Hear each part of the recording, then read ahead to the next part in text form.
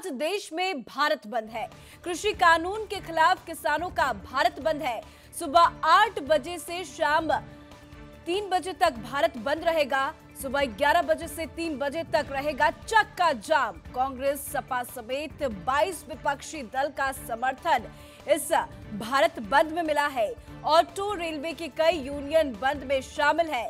देश भर की कई मंडियाँ भारत बंद में शामिल है। तो भारत बंद को लेकर कई पार्टियों का समर्थन मिला है। आज चक्का जाम रहेगा 11 बजे से 3 बजे तक। बता दें आपको कि केंद्र सरकार के नए कृषि कानून के खिलाफ दिल्ली की सीमाओं पर पिछले 12 दिनों से डटे प्रदर्शनकारी किसानों ने आज भारत बंद बुलाया है। ये भारत बंद सुबह 11 बजे से दोपहर 3 बजे तक रहेगा। हालाँकि कई जगहों में सुबह से ही भारत बंद का असर देखा जा रहा है। कई जगहों पर ट्रेन रोकी गई है।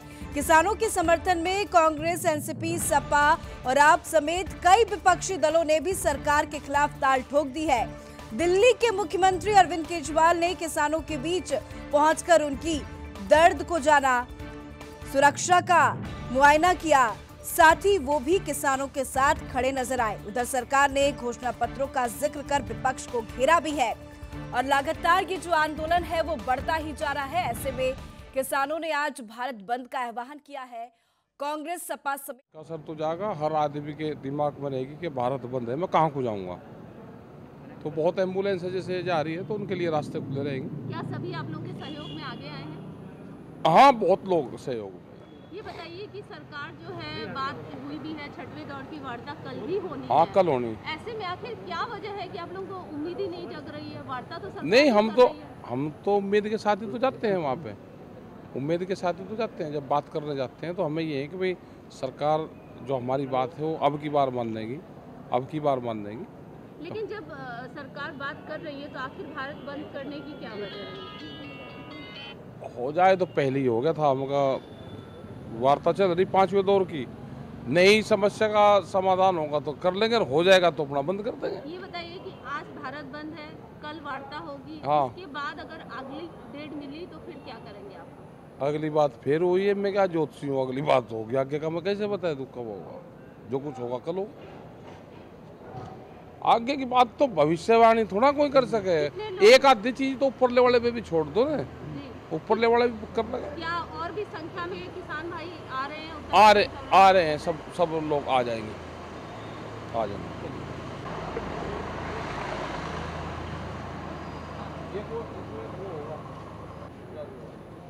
Lớn, lớn तो भारतीय किसान यूनियन के नेता राकेश टिकैत को आप सुन रहे थे, जिन्होंने कहा कि सभी का समर्थन मिल रहा है और जब तक समाधान नहीं होगा, तब तक किसान हल्ला बोल करेंगे। बता दें आपको कि देश में आज भारत बंद है। कृषि कानून के खिलाफ किसानों का भारत बंद है और किसानों के भारत बंद के आह्वान को लेकर कई विपक्षी दलों ने भी समर्थन दिया है। सुबह आठ बजे से शाम तक बंद रहेगा। सुबह ग्यारह बजे से तीन बजे तक चक्का जाम रहेगा। ऐसे में कई चीज़ें भी प्रभावित होती नज़र आएँगी। पर अ, किसानों के यूनियन के नेता राकेश टिकैत का यही कहना है कि हमें किसी भी प्रकार की दिक्कत हम लोगों को नहीं होने देंगे आम लोगों को किसी भी प्रकार की दिक्कत नहीं होगी हम अपनी मांगों को लेकर हल्ला बोल कर रहे हैं। लगातार बैठकों का दौर तो जारी है लेकिन कोई समाधान नहीं मिल रहा है। तो सुबह आठ बजे से शाम तक चक्का जाम रहेगा। लगातार किसान जो है हल्ला बोल कर रहे हैं दिल्ली के अलग अलग सीमाओं पर डटे हुए हैं। अपनी मांगों को लेकर आवाज़ उठा रहे हैं। नए कृषि कानून के खिलाफ दिल्ली की सीमाओं पर पिछले तेरह दिनों से डटे हैं प्रदर्शनकारी। किसानों ने आज भारत बंद बुलाया है, जिसका समर्थन भी देखने को मिल रहा है। ये भारत बंद सुबह 11 बजे से दोपहर 3 बजे तक रहेगा। हालाँकि कई जगहों पर इसकी जो शुरुआत है, वो सुबह से ही देखने को मिली। कई जगह सुबह से ही काफ़ी कुछ बंद रहे। कई जगहों पर ट्रेन रोकी गई। किसानों के समर्थन में कांग्रेस, एनसीपी, सपा, आप समेत 22 से ज़्यादा विपक्षी दलों ने भी सरकार के खिलाफ ताल ठोक दी है। दिल्ली के मुख्यमंत्री अरविंद केजरीवाल सोमवार को किसानों के बीच पहुँच गए। तो वहीं सपा प्रमुख अखिलेश यादव भी सड़कों पर उतरे। ऐसी तस्वीरें भी देखने को मिली। तो किसानों का किसानों के समर्थन में कई बड़े बड़े नेता भी सामने आ रहे हैं। 22 विपक्षी दलों का समर्थन मिल रहा है। ऑटो, रेलवे के कई यूनियन बंद में शामिल है। तो देश में आज भारत बंद है। लगातार किसान जो है अपनी मांगों को लेकर आवाज़ उठा रहे हैं। ऐसे में आज भारत बंद का आह्वान किया गया है, जिसका असर भी देखने को मिल रहा है। सुबह 11 बजे से 3 बजे तक चक्का जाम रहेगा। और ऐसे में कई पार्टियाँ किसानों के समर्थन में उतर गई है। कल हमने देखा कि दिल्ली के मुख्यमंत्री अरविंद केजरीवाल किसानों के बीच पहुँचे, सुविधा का जायजा लिया और किस प्रकार की व्यवस्था है वहाँ पे किसानों को लेकर उसका भी जायजा लिया। तो वहीं लखनऊ में अखिलेश यादव धरने पर बैठ गए। तो बड़े बड़े नेताओं का भी समर्थन मिल रहा है, विपक्ष भी लगातार हल्ला बोल कर रहा है नए कृषि कानून को लेकर। और ऐसे में किसानों का यही कहना है कि हम तब तक नहीं पीछे हटेंगे जब तक हमारी मांगों को पूरा ना किया जाए। तो ऐसे में लगातार ये जो धरना है, वो बढ़ता ही नज़र आ रहा है। बता देते हैं आपको कि क्या क्या बंद रहेगा? कैब, टैक्सी चालक बंद में शामिल होंगे। इसमें पूरे दिल्ली एनसीआर में कैब सेवाएँ जो हैं, वो प्रभावित रहेंगी। तो वहीं मंडी समिति बंद रहेंगी। फल, सब्ज़ी की आपूर्ति प्रभावित होने के आसार जताए जा रहे हैं।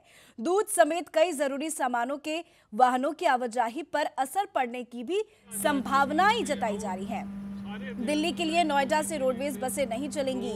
यात्रियों को परेशानी हो सकती है।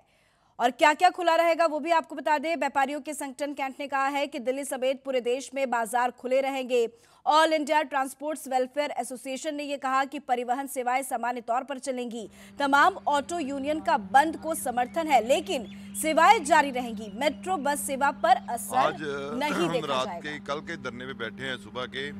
हमारी मांग है पार्लियामेंट सेशन बुलाना चाहिए। प्रधानमंत्री जी वहाँ जवाब दें।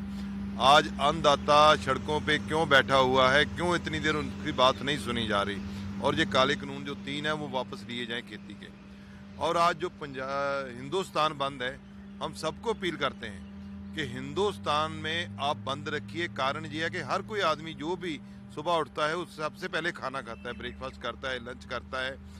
कोई भी चीज़ आप, सुबह की चाय भी है, वो किसान के खेत से पैदा होती है, किसान पैदा करके देता है, दूध देता है, पैदा करके पत्ती देता है, चीनी पैदा करता है, मसाले पैदा करता है। अब उस किसान को ज़रूरत है आपके सहयोग की।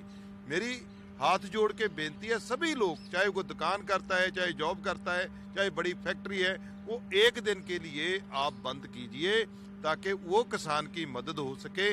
और मैं दिल्ली के केजरीवाल मुख्यमंत्री जी को बेनती करूँगा, क्योंकि हम जहाँ धरने पे बैठे हुए हैं इतनी बसें चल रही है, केजरीवाल साहब। एक दिन बसें नहीं भी चलाएँगे दिल्ली में तो कोई बात नहीं, क्योंकि ये जो एक्ट है, ये कैंसिल होगा तो जो एसेंशियल कम्युनिटी एक्ट है, जो स्टॉक करने का है, वो जब स्टॉक करेंगे तो बहुत महँगे भाव में आपको सब खरीदना पड़ेगा दिल्ली वालों को। ये भी बात समझिए, वो किसान आपकी भी बात कर रहे हैं सो मेरी यही उम्मीद है कि आज का बंद जो है, वो सफल होगा पूरा।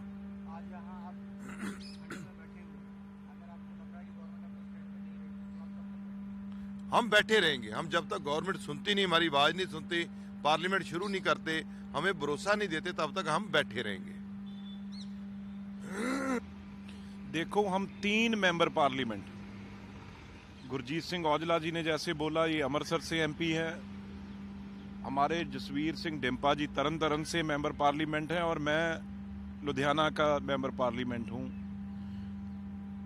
क्योंकि किसान लगातार आज तेरहवा दिन हो गया। तप रहा है अपने आप को, वहाँ मर रहा है डेड बॉडीज उसकी घर जा रही हैं ठंड में। यहाँ किसान कुछ अंतर मंत्र में आने नहीं दिया। तो हम तीनों एमपी यहाँ पे किसान हैं और सारी रात हमने अपने आप को, उसी ठंड में अपने आप को तपाया है। भी पता लगे अंधी बोली सरकार को, जिस तरीके से हम बैठे हैं तो इसी तरीके से हमारे बुज़ुर्ग नब्बे नब्बे साल की माताएँ, वो ट्रॉलियों के नीचे पराली पे पड़ी हैं। अपनी ज़मीन, अपनी खेती के लिए। लेकिन आप बड़ी बड़ी प्रेस कॉन्फ्रेंसेस करके पार्टियों पे इल्ज़ाम लगा रहे हैं। ये धरने, ये प्रदर्शन पार्टियों के नहीं है, समझो। ये तीन बार जिस पेट को भरते हैं अन्नदाता, तीन बार जिस भूख लगती है जब चूहे भागते हैं तो ये किसान याद आता है सबको। तो आज आठ तारीख को अगर अपने अपने पेट को भरना है ये किसानों का साथ दीजिए। आज ये सड़कों पे मकम्मल बंद कीजिए और ये अंधी बहरी सरकार जो इनके ही वोटों से बन के आई है, आज नए पार्लियामेंट का उद्घाटन हो रहा है। आठ आठ सौ करोड़ की नई बिल्डिंगें बन रही हैं। उसका फर्त फ़ायदा क्या? जहाँ कानून बनने हैं, वो लोगों को मारने वाले कानून बनने हैं। इसीलिए हम संसद विंटर सेशन बुलाने की बात कर रहे हैं। भी जल्दी से जल्दी सर्द रुत सेशन आप बुलाइए, जिसमें नए किसानों ने जो चाहा वो बिल बने। मेजॉरिटी तो मोदी साहब के पास है। बिल तो बनाने उन्होंने हैं, उनका ही नाम होगा।